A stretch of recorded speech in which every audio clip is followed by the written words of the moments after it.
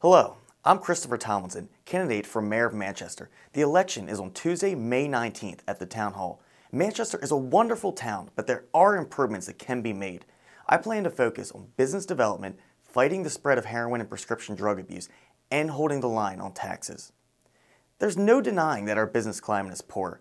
As mayor, I will foster a business friendly atmosphere and I will proclaim that Manchester is open for business. I also promise to complete the Sheets expansion project that has been in the work for seven years.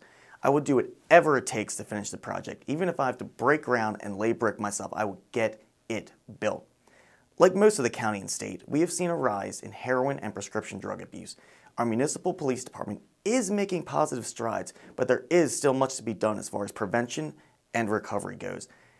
Only way to defeat this horrible epidemic is to get the entire community together so that we can bring about awareness and to combine our efforts with Carroll County's and Governor Hogan's recently introduced anti-heroin programs.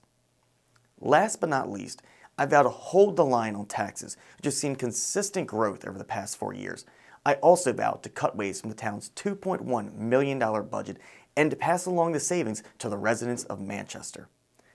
I've lived in the North Carroll area for 22 years and I am a graduate of North Carroll High School and Towson University.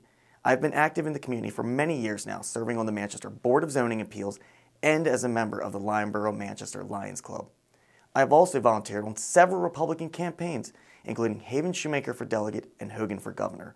On May 19th, I, Christopher Tomlinson, ask for your vote for Mayor of Manchester. Manchester is a great town, but together we can make it a better town.